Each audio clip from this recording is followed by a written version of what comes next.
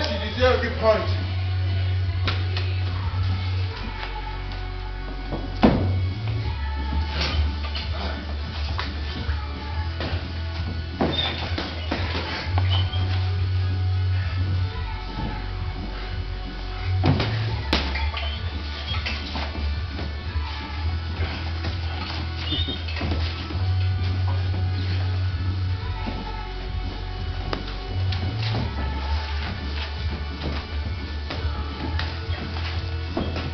How?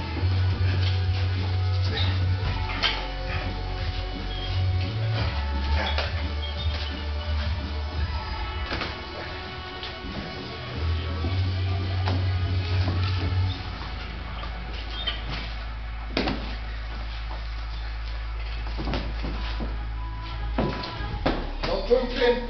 Don't jump in.